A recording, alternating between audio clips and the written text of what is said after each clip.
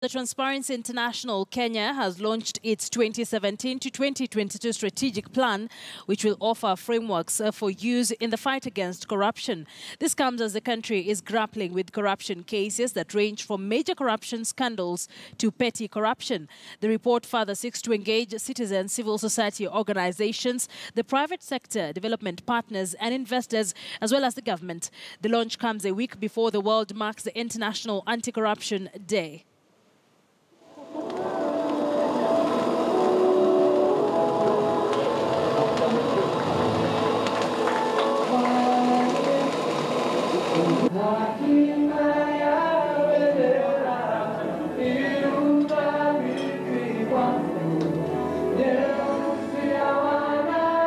Please pick one as you head out.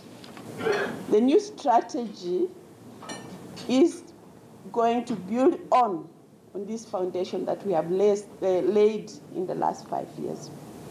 Despite these efforts that we have tried to do, corruption continues to shackle the development and potential of our country. We invest more in, in, in replicating models that have proven to work as a basis of acceleration and scale up of impact. Engagement with the academia. We will work more closely with knowledge institutions as part of strengthening research and evidence building and knowledge management capacity. I believe that corruption is something that prevents countries from realizing their full potential. When you look at Kenya, they came out a few weeks ago, very positive news when it comes to the ease of doing business in Kenya.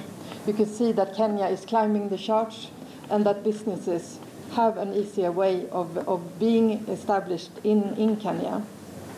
At the same time, Transparency International announced that Kenya has dropped six places and is now number 145 out of 176 countries in the, in the ranking that Transparency Internationally, International Global is making every year. And this is, of course, a very great challenge.